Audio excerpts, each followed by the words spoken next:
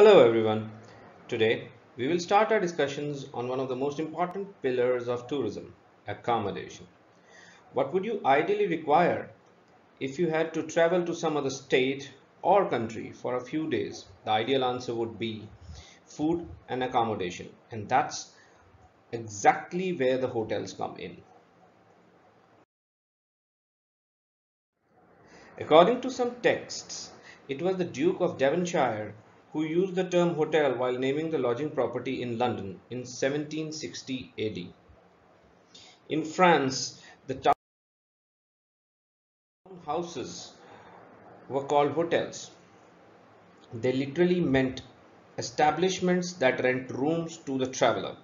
It was the British law that first defined the hotel as a place where a bona fide traveler can receive food and shelter provided he is in a position to pay for it or is in a fit condition to receive the services.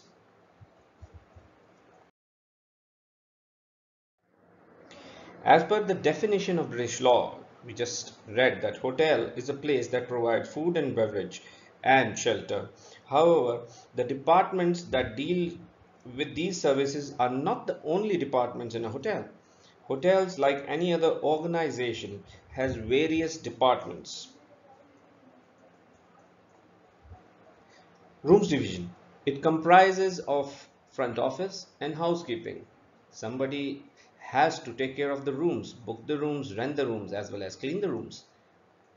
Food and beverage departments.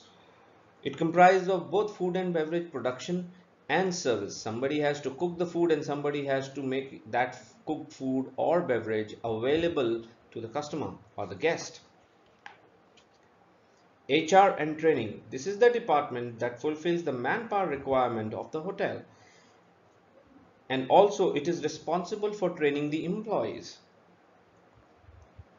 Sales and marketing. This department works in coordination with front office. They have a very important role in the sale of rooms and, uh, and other banqueting facilities that the hotel offers. Purchase and stores. This department is responsible to procure items of daily requirement for smooth functioning of various departments of the hotel. Finance. This department is responsible for maintaining hotel accounts, payment of salaries, implementation and exercise of financial control in all the departments. Security. It is responsible for safeguarding the asset of the guests and employees. Engineering. As we all know that hotels are mechanized and fully automatic and machines can fail and to keep them running this department plays a vital role. If the machine keeps running, the hotel keeps running.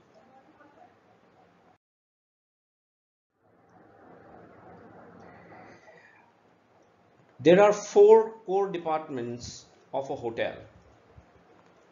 Front office, housekeeping, F&B, service and F&B production. Let's uh, see each department one by one. Starting with housekeeping. What is housekeeping? It's a very essential department of the hotel. It is necessary to have this department in every hotel because of various reasons. Let's see those reasons. Housekeeping is responsible for cleanliness and upkeep of front desk and back areas of the hotel. Front areas, that means the areas in which the guest can go, the guest has an access to, and back areas where the employees are there and the guests are generally not there. It includes public areas, rooms, landscaping. These are all front of the eh, front of the house. Now laundry is something which is in the back. Food and beverage service. Now the food and beverage service department has various outlets which caters to the guests need of food and beverage. Now there are various categories of outlets like restaurants. These can be specialty restaurants, multi-cuisine restaurants that are there. Bars. These are generally uh, places which serve alcohol and alcohol based drinks to the guests of course with some snacks banquets a large gathering um, has to have large places these are the places which are managed by food and beverage service uh, department and cater to the needs of people accordingly. Coffee shops. Generally in very large hotels or in Indian context five star or five star deluxe hotels these are the places F&B places which runs 24 hours round the clock for the guests. Room service. Now if you don't wish to go at any of the outlet to have food you can have the food at room and this department will come in handy then. Food production. You need to eat. So who's going to create it? Answer is the chefs who work in the food production department. Food production includes kitchen.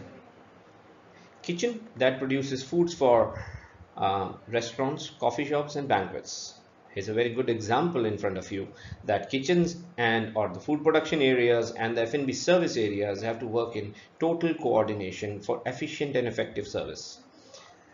There is another part of the kitchen which is called as bakery and confectionery.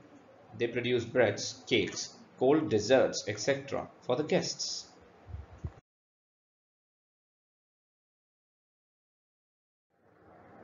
Front office. One of the front of the house department in the hotel. There are various areas that come under front office. First of all, reservation, which is at the back of the house. Then we have valet service, probably the first people you meet when you reach the hotel because these people assist you in loading and offloading your luggage. If you are in your car, they'll assist you in parking your car, etc. Bell desk maybe these are the people who will come in second or maybe the first one because these people are going to help you with your luggage. Front desk ideally front desk comprises of reception information and cashier. These are the people whom the guest will approach as soon as he enters and these are the people who will escort the guest to their rooms. In travel desk while you're going somewhere front office people will have these people will assist you in preparing your itineraries.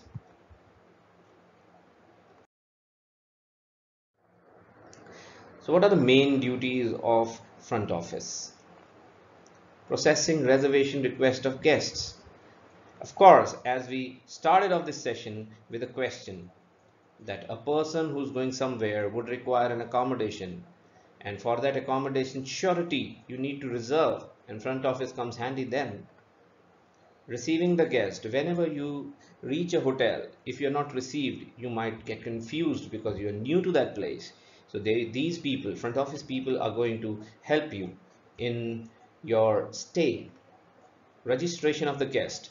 This is an important function of the front office. As soon as you reach the hotel and announce your reservation somebody has to assist you to get a room and it cannot be done without registrations. So front office people will register you as a guest and give you your room number and in fact the key. Room assignments. These are the pre-preparation steps. Front office people or front office personnel are responsible for assigning room to each and every reserved guest guest luggage handling as we just described. Bell desk. These people will never let you take your own load. They will take your load. Cashier services. We need to pay for each service as we saw in the definition of the uh, British law. So who's going to assist you in that? So the person who will stand at the front desk with the on the cashier desk is going to assist you in every manner um, everyone can uh, refer to these references to read these things in detail. Before we finish the today's session, next time we're going to discuss about the classification of hotels. Thank you and have a nice day.